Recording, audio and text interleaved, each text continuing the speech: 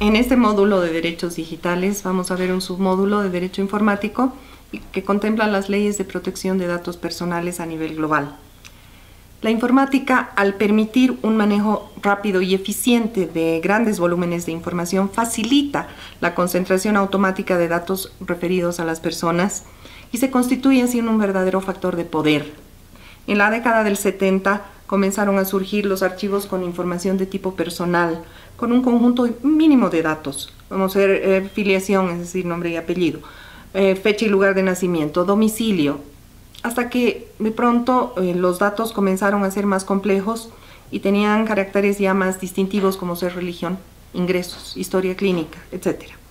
Estos datos, al ser recopilados en diferentes centros de acopio, como ser registros académicos, registros laborales, registros censales, administrativos, fiscales, y ya no por medios exclusivamente manuales, sino eh, con el apoyo de medios automatizados, provocaron una gran sistematización y disponibilidad instantánea de ese tipo de información para diferentes fines. Este tipo de datos no es vulnerable per se sino según el destino de que pueda ser objeto. La variedad de los supuestos posibles de indefensión frente al problema eh, provoca que las personas estén a merced de un sinnúmero de, de, situaciones que alteran sus derechos fundamentales en sociedad y se genera discriminación, se genera manipulación, se genera asedio, persecución, en fin, y todo ello al margen de un control jurídico que sea adecuado.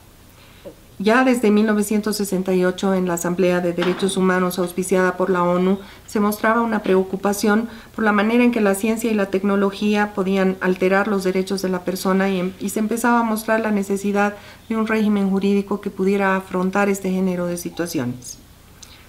¿quiénes son los que tienen que cumplir eh, las leyes de protección de datos personales?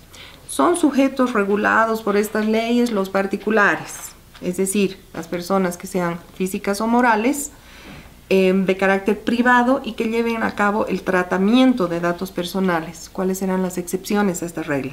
Las sociedades de información crediticia, las personas que llevan a cabo la recolección y almacenamiento de datos personales que sea para exclusivo uso de ellos mismos y sin fines de divulgación o utilización comercial. ¿Qué figuras jurídicas serán aplicables? Y son varias. Teníamos primero los derechos humanos, los derechos personales, los derechos patrimoniales, las libertades públicas y privadas, como en el caso de Francia, el derecho a la privacidad en el caso de los países anglosajones, el derecho a la intimidad y al honor de las personas como en España, e inclusive las garantías individuales y constitucionales como es el caso de Bolivia y todas ellas como protección eventual han tendido a una sujeción bien apropiada en cuanto a la concentración y destino de los datos de carácter personal. Las leyes existentes deben proteger los datos personales en posesión de los particulares y regular su tratamiento legítimo, controlado e informado, para garantizar la privacidad y el derecho a la autodeterminación informativa de las personas. Vamos a ver unos términos importantes. ¿Qué es un titular? Es el dueño de los datos. ¿Qué es un responsable? Es el encargado de, el, del acopio, del tratamiento y cancelación de los datos. ¿Qué es un dato personal y qué es un dato personal sensible cuál es la diferencia entre ambos? Un dato personal es cualquier información concerniente a una persona física identificada o identificable. El consentimiento para la divulgación de sus datos debe ser expreso y eso es cuando la voluntad se manifiesta, puede ser verbalmente, por escrito, por medio electrónico, óptico u otra tecnología. Y el consentimiento es tácito si la persona o el titular no presenta oposición. ¿Qué será un dato personal sensible? Dato personal que afecta la esfera más íntima de su titular o cuya utilización indebida pueda dar origen a discriminación o conlleve un riesgo grave. Por ejemplo, el origen étnico, el estado de salud presente o futuro, la información genética, la afiliación sindical, la orientación sexual. El consentimiento para todos estos datos y su divulgación debe ser expreso, es decir, por escrito, a través de una firma autógrafa, electrónica o cualquier mecanismo de autenticación. Veamos los principales derechos y excepciones. Si se habla de regulación jurídica, esta genera a su vez determinados derechos y excepciones. Y este problema, porque es bien singular, motiva derechos especiales y entre ellos están el derecho de acceso, es el que permite a los interesados conocer las instituciones y el tipo de información que de ellos disponen. Derecho de rectificación, que es complementario al anterior. Ese derecho permite al interesado solicitar una modificación, alteración, ampliación, supresión o cancelación de aquellos datos que referidos a él o ella considere como inexactos o irrelevantes. Derecho de uso conforme al fin. Eh, consiste en que el interesado exija eh, que en su información nominativa no tenga otro destino ni uso para el cual se proporcionó. Es decir, si se trataba de un objetivo administrativo, ese debe ser el destino de sus datos y no deben ir más allá de aquellos planteados por ese principio. Derecho para la prohibición de interconexión de archivos. Es decir, que una base de datos administrativos no podrá ser objeto de consulta por otra instancia fiscal o policial. Es decir, debe ser aquella a la cual se le administraron los datos o información. Punto. Y el incumplimiento de estos derechos puede generar diferentes sanciones. Estas pueden ser de índole civil, de índole administrativa y hasta penal, dependiendo de las circunstancias. Excepciones. En lo referente a excepciones al derecho de protección de datos personales, vamos a ver que estas están fundamentadas en la seguridad del Estado, en eh, su poder coercitivo y eh, los integrantes de la sociedad. Tenemos que son derivadas con motivo de la seguridad del Estado, tanto en lo interno como en lo externo, y tenemos las relativas a intereses monetarios o persecución de delitos. En estas circunstancias, el derecho a protección de datos personales queda cancelado. Vamos a ver un pantallazo general de las leyes de protección de datos personales en cuanto a sus principios. Tenemos el principio de licitud, el de consentimiento, el de información, el de calidad, finalidad, lealtad, proporcionalidad y responsabilidad. ¿Qué será el principio de licitud? Los datos se recaban y se tratan en forma lícita. Consentimiento. Los datos están sujetos al consentimiento del titular. Información. Esta información debe ser de conocimiento del titular. La calidad. Los datos deben ser pertinentes, correctos y actualizados. La finalidad. Deben limitarse al cumplimiento de la finalidad prevista en el aviso. Lealtad. Respetar la expectativa de una privacidad razonable. Proporcionalidad. Los datos deben ser adecuados, necesarios y relevantes. Responsabilidad. Se debe tomar cualquier medida necesaria y suficiente para el respeto por el responsable y terceros con los que guarde relación jurídica. La protección de los datos personales también se enmarca en eh, ciertos macroprocesos, como ser obtener los datos, mantener los datos y cancelar los datos, y tiene varios actores, la tecnología, los procesos, el derecho y los gobiernos. como así? El área de IT o tecnología participa en el diseño, en la implementación y gestión de actividades para el cumplimiento de los requerimientos en cuanto a protección de datos personales, es decir, se encarga de los procesos. También es necesaria para la implementación de medidas administrativas, técnicas y físicas que protejan la seguridad de los datos basadas en un análisis de riesgos, principalmente. Su participación es importante en la administración de disponibilidad, vulnerabilidades e incidentes que se generen en el curso de las medidas que se toman para proteger los datos. El área legal es el punto de contacto con las autoridades y las áreas internas. Ve por la juridicidad, la legalidad, la legitimidad de los procesos de protección de datos personales. También sirve de punto de contacto entre los titulares em, y las solicitudes ARCO, es decir, cuando los titulares quieren acceso a rectificación R, cancelación C y oposición O, ARCO. Los gobiernos aprueban las leyes de protección de datos personales y a través del Poder Judicial asumen un compromiso de cumplimiento. También eh, es necesario decir esto, los gobiernos, o por lo menos a través de su Poder Ejecutivo, vetan artículos de leyes de protección de datos personales.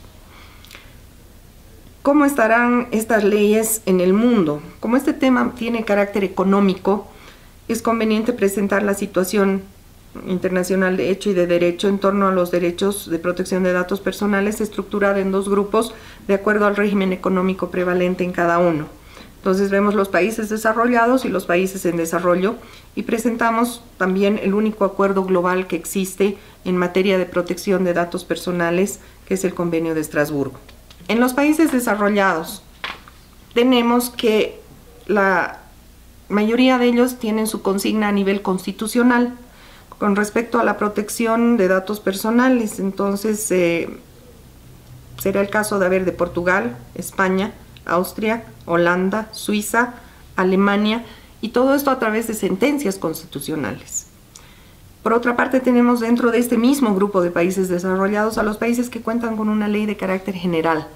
Contiene obviamente las disposiciones al respecto y veremos el caso más grande y grave por las circunstancias actuales, el de Estados Unidos con su Privacy Act o Ley de Privacidad del 31 de diciembre de 1974, miren el año bajo las consideraciones de una protección a la vida privada, siendo los tribunales federales los que tienen competencia para sanciones. Esta ley, pero para efectos de protección meramente de datos personales, se complementa ya con otras disposiciones. Canadá tiene su Human Rights Act o Ley de Derechos Humanos del 14 de julio de 1977 y está inspirada en el modelo estadounidense. Aborda específicamente los problemas derivados de la informatización con respecto a los derechos humanos. Suecia tiene su Data Lag o Ley de Datos del 11 de mayo de 1973. La República Federal de Alemania tiene su Ley Federal de Protección de Datos del 27 de enero de 1977. No sé si se estarán fijando la década. Eh, otros países con disposiciones específicas son Dinamarca, Noruega, Austria, Luxemburgo, Gran Bretaña, Irlanda, Holanda, Portugal y Bélgica. Otros países también se han aproximado a la promulgación de una reglamentación jurídica sobre protección de datos personales, como ser Japón, Italia, Australia, Nueva Zelanda y Grecia. Países en desarrollo. En este grupo de países, si bien el grado de informatización no es considerable como en los países desarrollados, el problema de la protección jurídica a los datos personales siempre está latente. En Bolivia, la Constitución Política del Estado, en su sección 3, artículos 130 y 131, eh, garantizan la protección de datos registrados, cito, por cualquier medio físico, electrónico, magnético o informático, en archivos o bancos de datos públicos o privados. En América Latina han habido otras reformas constitucionales de carácter reciente y han introducido la protección de los datos personales, pero algunas bajo la forma y la figura del habeas data, que tengas la información. Si el habeas corpus es que tengas tu cuerpo, el habeas data es que tengas la información. Dos textos constitucionales recientes han percibido de alguna forma la existencia de riesgos en el proceso de informatización. El caso de la Constitución Política del Perú, en su artículo 2, que, y cito, ah, a que los servicios informáticos computarizados o no, públicos o privados, no suministren informaciones que afecten la intimidad personal y familiar. Y el de la Constitución de la República Bolivariana de Venezuela, que en su artículo de 60 dice que toda persona tiene derecho a la protección de su honor, vida privada, intimidad, propia imagen, confidencialidad y reputación. La ley limitará el uso de la informática para garantizar el honor y la intimidad personal y familiar de los ciudadanos y ciudadanas en pleno ejercicio de sus derechos. Hay materia para el debate. A partir de este marco constitucional, otros países han ido legislando sucesivamente mecanismos de protección de los datos personales. La ley argentina de protección de datos personales justamente es probablemente la más cercana al modelo europeo. Em, es la única, en realidad, república o el único país en América Latina que ha recibido la certificación de la Unión Europea como un nivel adecuado de protección, que también le ha sido conferida a Estados Unidos, indirectamente a Canadá, a Suiza, Hungría y a la Bahía de Guernsey. Según el mapa mundial de leyes de protección de datos personales realizado por David Banizar, Chile y Paraguay, además de Argentina, son los otros dos países que cuentan con un nivel eh, adecuado de protección de datos personales y una legislación adecuada al respecto. La ley chilena sobre protección eh, a la vida privada, es la ley 19.628 del 30 de agosto de 1999, modifica, por ejemplo, y esto es interesante, el artículo segundo del Código del Trabajo, que establece que ningún empleador puede condicionar la contratación de trabajadores a la ausencia de obligaciones de carácter económico, financiero o bancario. Progreso. No se discrimina por que un candidato a un empleo tenga deudas o se sepa de él que tiene deudas. En Paraguay, la ley 1682 del 16 de enero de 2001 delimita los datos sensibles a la acción del habeas data y establece que los datos financieros podrán ser publicados solamente cuando las personas concernidas hubiesen otorgado su autorización expresa y por escrito. Panamá tiene dos normas, la ley 6 que dicta normas para la transparencia de la gestión pública y la ley 24 que regula el servicio de información sobre el historial de crédito de los consumidores. En Brasil, eh, la ley 9507 regula el derecho de acceso a la información y disciplina el rito procesal del habeas data.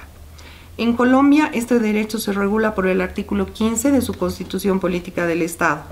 En Ecuador tenemos los artículos 30 al 45 de la Ley de Control Constitucional. En Uruguay está la Ley 17.838 de protección de datos personales para ser utilizados en informes comerciales y acción de habeas data del 1 de octubre de, de 2004. Perdón. Y en México existe un decreto, no una ley, por el que se expide la Ley Federal de Protección de Datos Personales en posesión de los particulares y se reforman ciertos artículos y ciertas secciones para viabilizar la Ley Federal de Transparencia y Acceso a la Información Pública Gubernamental. Algunos países, yendo un poquito más allá y empujando el sobre, tienen algunas leyes que contemplan la protección de datos desde una visión sectorial o que se relacionan de alguna forma con los datos personales. Por ejemplo, la ley 25.392 de Argentina, correspondiente a la, cito, creación del Registro Nacional de Donantes de Células Progenitoras Hematopoyéticas desde el 30 de noviembre de 2000, o la ley Cava, Ciudad Autónoma de Buenos Aires, números 1845, quebrado 2006. Vamos a ver ahora qué es el convenio de Estrasburgo.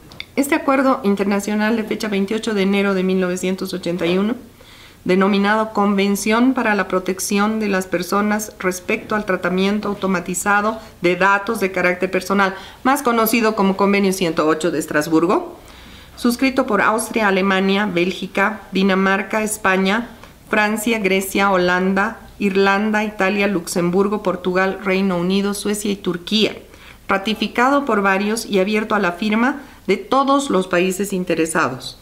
Si bien es un cuerpo normativo interesante, es bien limitado a nivel de resolución del problema de protección debida a los datos personales. La realidad de protección de datos en Bolivia. Veamos eso ahora. En la actualidad, empresas de todos los tipos, sectores y tamaños trabajan con una materia prima en común.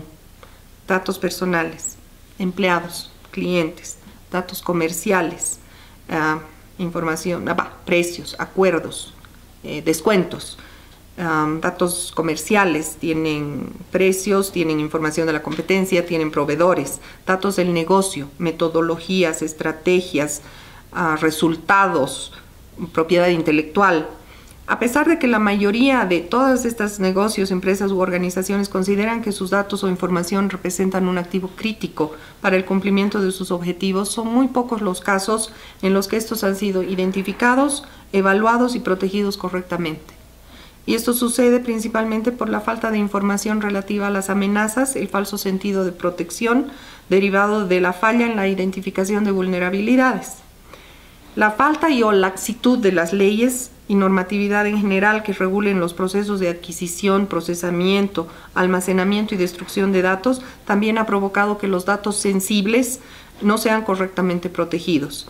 Se sabe de casos, por ejemplo, de mensajería, 5% de la pérdida de datos se da por robo o extravío de laptops, USB o errores en el envío de correos electrónicos. Hagamos un ejercicio y es eh, el que ustedes vean y evalúen la realidad de su propia organización o inclusive la protección de sus propios datos en 10 preguntas bien simples. ¿Tienen identificados los activos de información críticos en su organización? ¿Hay información de su organización o negocio que pueda ser de interés para terceros? ¿Saben cuánto podría costar una fuga de datos? ¿Tienen identificados los flujos internos y externos por donde se mueve y almacena la información? ¿Los empleados conocen sus responsabilidades sobre protección de datos? tienen forma de controlar la reproducción física o electrónica em, de información importante para la organización o negocio. Pueden identificar qué tipo de información se envía a través del correo electrónico. Tienen implementados controles sobre dispositivos móviles, laptops, smartphones, discos duros, memorias USB, ¿están o estarían sujetos a alguna norma o ley que regule la protección de datos? ¿Tienen certeza de que no se han presentado fugas de datos en su organización o negocio? Si ustedes pueden contestar esas preguntas acerca de sus propios datos o los de su organización y realizar un diagnóstico, a lo mejor eso puede ayudarles a una mejor eh, protección tanto de datos comerciales como personales em, y que, bueno, puedan ustedes también asimilarse a la ley de protección de datos o a la constitución política del Estado, conozcan sus derechos. Eso es lo esencial.